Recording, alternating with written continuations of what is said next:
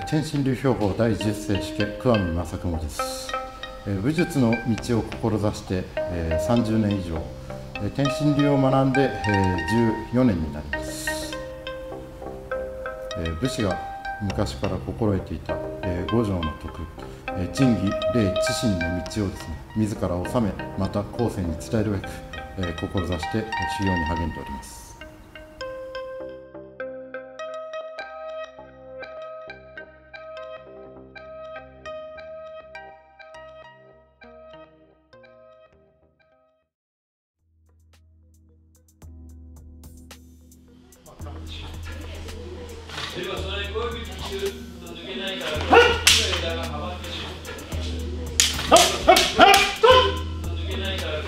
の枝がはまってることを書かないと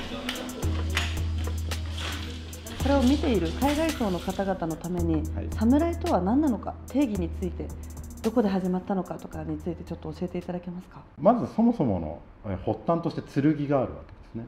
あの国造りに欠かせないものだったわけですね。遡らでは、えー、天皇家も戦っていたわけですからあのそれがだんだん時代とともにあの役割が変わってきて政をなすのが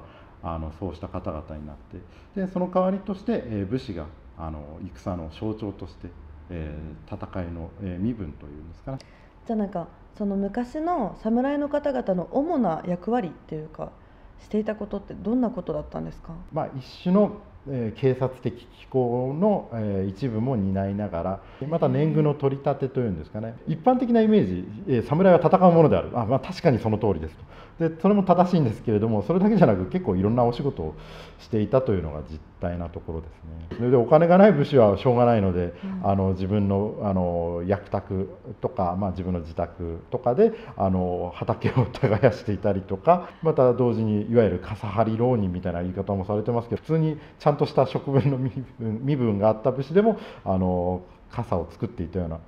あの武士もいますから江戸時代になってくると本当に幅広いあの侍像というのがあったっていうのが実態のところですね。侍の方々ってどれくらい強いのかちょっと気になっていて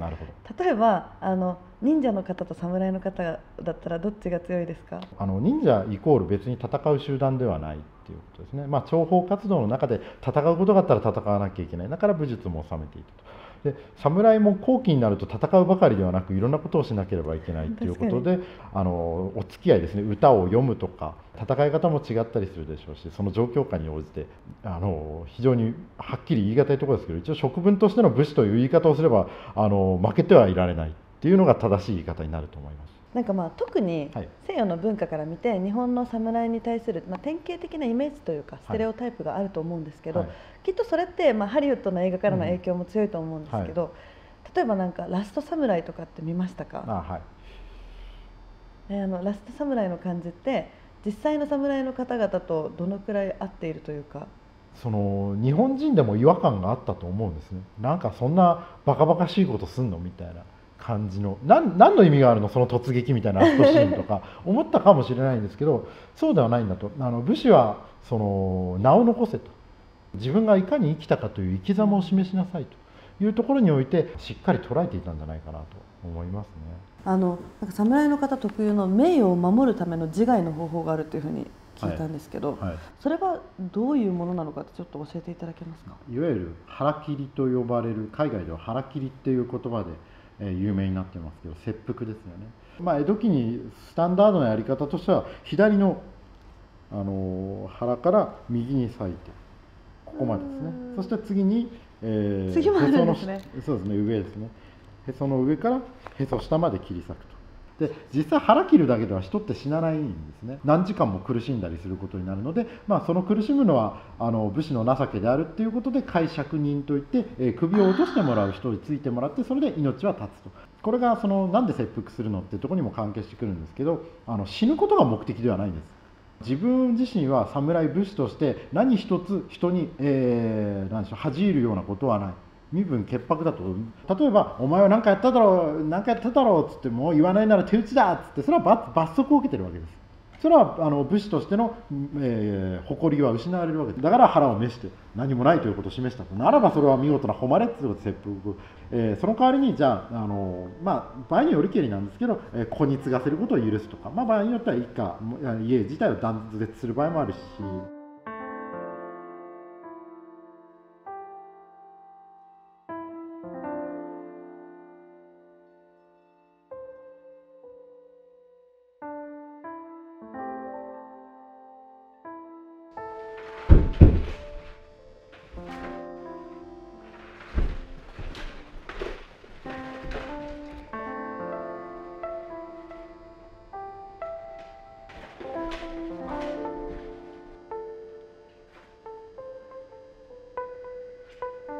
なんかめちゃくちゃ重そうですけど疲れませんか？甲冑。見た目はすごいごついんですけれどもあのしっかり体にフィットしているのでそれほど重さを感じないんですね。なるほど。でも耳隠れちゃってませんか？鉢巻き。そうですね。耳隠れてます。このあの耳を隠すというのも、まあ、流儀の教えにあってですね切り合いがある時とかに一番 出てる箇所っていうのはやっぱり切れやすいんですね、まあ、ここの場合指であったりとか、まあ、耳鼻とかそういったもの。だから江戸時代の文献などでも、まあ、切り合いの後には指が落ちてたりとか耳が落ちていたみたいな失敗してるわけではない。あちょっと耳隠れちゃったなと思ったら隠してるんですね。そもそも何がきっかけで侍になられたんですか？なんかあの武家の出だったんですか？あ、いやそういうわけではなくですね。えっ、ー、と武道を学んでいたんですけれども、やはり、えー、基本として命のやり取りですね。自分自身が求めていた、えー、極限というものに、えー、そこにあると感じた、ねうん、修行の中で一番大変だったことって何ですか？今までの。一つは師匠なんですけれども。やっぱり古武術をやる人というのはちょっと独特な方が多くてあの私が入った頃にいた方とかは質問しただけで怒られたと。武術は聞くもんじゃないんだっつって。見て盗めそう見て盗めって言われて盗んで覚えろって言われたんだって言ってすごい厳しく。最初に会った時に天智先生に刀突きつけられましたから、ね、うちはこうなんだっつって。えそれ本物の方の？えどこにですか？喉元に。こうやってこうやってやるんだよ初対面でいきなりそれやるやるって相当ちょっと言っちゃってる人なんで。すそういった覚悟を持った上で、えー、指導をしていた先生についていくっていうのはなかなか厳しいものがあるわけですよね。えっと、桑見さん先生の武器を使いこなすスキルは100点中何点ぐらい100点中ですか？ああなるほど。まあ一気当選のフルツアーものとしての、えー、レベルという意味ではあ常に修行という意味ではまだまだあ自分自身の体感としては3合目だなという感覚。3合目3割ですね。3割ぐらいですぐらいとして捉えないと多分私の中でまだまだ眠っているポテンシャルは出てこないと思う。刀以外にそもそもあのあ。どんな武器がある？十字槍と呼ばれるものや、まあ、素槍という、まあ、もしくは片刃片方だけ。それから鎖釜であったりとかあとはまあ手裏剣とかも伝わって手裏剣って忍者の武器っていうようなイメージが強いんですけどもともと武芸18般の中にも入っている武士のたしなみの一つでもあるので。で、まあ、一番汎用性が高いのが棒手裏剣と呼ばれる棒状の手裏剣でこれはあの普段持ち歩く時に手甲の中に入れたりする。内側に差し込んでいざという時にこう投げたりするんですけどそれだけじゃなくて切ってる時に受けたりってなってたら鉄ですから3本ほどこう入れていてそれを受ける、まあ、すねの内側にも入れておいて倒れた時に取り出して突き刺す丸だけじゃない？丸っていうかこれだけじゃないんですね。だからその使い方もいろいろなので必ずしも投げることばかりが手裏剣ではないっていうようなことも含めてあのとにかくあるものは全部使う。そしたらまず、えーと、上げ差しをですね、えーと、対等していきましょう、はい、でそこを見てみると1枚2枚3枚帯が取ります、はい、1枚目と2枚目のこの間、えーと、こちらのショートを指します。で出てくる場所が、えー、とこのようにきれいになります。むしろ横に、えー、と地面と水平に、えー、と平行か平行になるようにこうつける次に、えー、と内灯内灯を指していきます。今度は、えー、と2枚目と3枚目の間にこの大灯を指しますそう。そして、えーと、先ほどの脇役でいうような形ですね。ありがとうございます。そしてじゃあ実際にあの花を見てみましょう。ここで終わらせちゃおうかな作戦が。見事にさせました。いやいやいやいや左手で鞘を自分のお腹側に、えーと、引いていくよう。なそんな形で両方の手をですね動かしながら入れていきましょう。まだまだ左手はまだまだまだまだ。そうです。もっとギリギリ端を持ちましょうちょっと怖すぎてごめんなさい、えこれ軽いってさっきおっしゃったんですけど、しかも皆さんすごいなんかバドミントンのラケットやるみたいなってやったじゃないですか。いやいやいやいや重いですよ。と思いました。そこから同じようにしましょう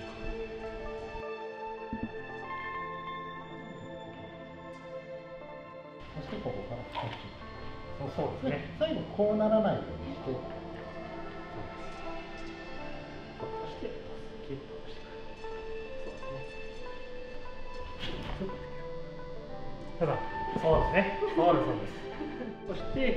えー、そしたら今握ってる刀をですね、えーと、この刀の峰と自分が今乗せてる左手をこうやって合わせる。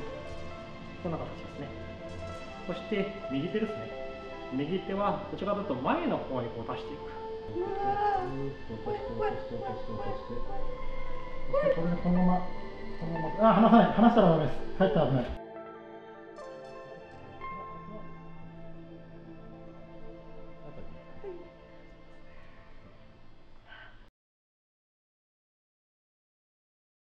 お電話をさせていただいた時に動きがあるもの動きが速いものでも切ることできますかっていうふうに聞いたじゃないですか、あの今日ちなみに動きがあるものを切っていただくこととかって。あ分かりました、まあ、今だと分かりやすいのはその今は畳を切ってますけど藁を切ったりとか、まあ、場合時代によっては死体を切ったりとか生きている人間を試したりっていうようなことすらもあったほどにもう刀を使って試し切りをするというのは非常に多く、まあ、現代ではもちろん法に触れることはできないのでそれ以外のことは天津流でも稽古しておりまして今回はそちらをお見せしたいなと思います。はい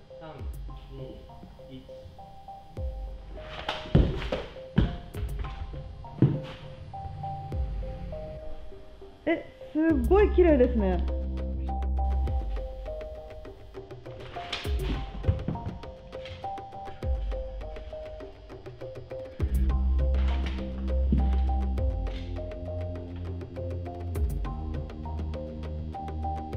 あとあの一番クライマックスには、はい、BB 弾を切っていただきたいと思ってるんですけどそれはお願いできますか？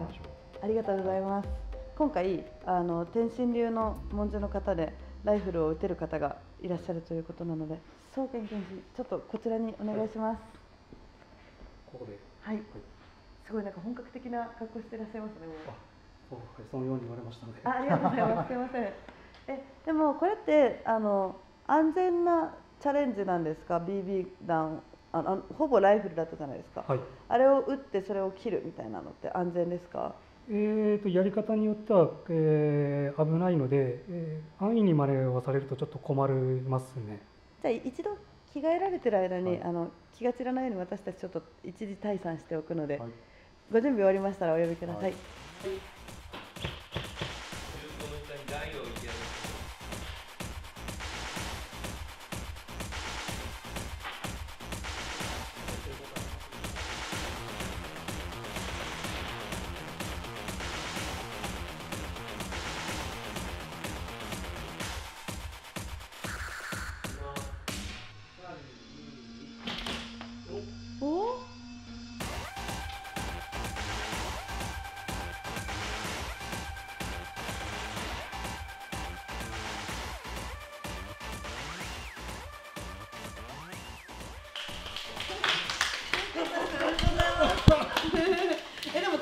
つかんないですね。消えますね。まあちょっと後で探しておきます。入ってますね多分。えなんかでも正直、はい、もうやめちゃおうかな辛いなって思って。ないですね。はい。もう入った時点で必ずここに骨を埋めるというか、まあちょっと紆余曲折というんですかね。最初はその交流をさせていただいた時に師匠と初めて会った時とかそのもう何年もやられてる兄弟子もいらっしゃるっていうところで親父が出る幕は特にないと思ってたんですけどやっぱりその修行環境ですかね。今の時代になかなか長く修行することが長くというか時間をちゃんと取って修行することができなくてもう自分の代で終わりだっていうことをはっきり言ってらっしゃったんででこういったご縁をいただいて、まあ、その師匠がお会いした後にご自宅でお話をした時に入るでしょって言ったんです なんで入るでしょうと思ったのかよく分かんないですけど。あの送電は無理でもかけらでも残したいっておっしゃったんですね。だからまあそこまで言われてここはあのそれをノーとは言えないと。では入門させていただきますということでそれ以降は、まあ、ほぼほぼあの無理やり仕事をほっぽってあの稽古に出て、まあ、しまいには引っ越しをして近くに。侍としての生き方ってどんな生き方でなんでそれは桑見さんにとって重要ですか？まあ、人間の中で一番醜いものの一つじゃないですか。人が殺し合わなきゃいけない極限の状態に追い込まれた時、うん、そこから来る、えー、それを基準とした生き方をした人たちがいたわけですね。そうした人たちが残した言葉や生き様というものがそのこれからの時代もうどんどんどんどんそういうものから縁が遠くなっていける。これはすごく幸せなことなんです。でも私たちは常に歴史から学ぶようにそうした人たちの生き様であったり思考というものを、えー、自分たちが体現して後世に伝える実はこうだったんだっつってあのそういう生き様もあるんだねっていうふうに示していければなという感じですね。